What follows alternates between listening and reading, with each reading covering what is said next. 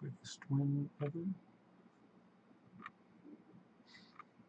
I just got disconnected as soon as I got on there, so I got a victory as soon as he timed out.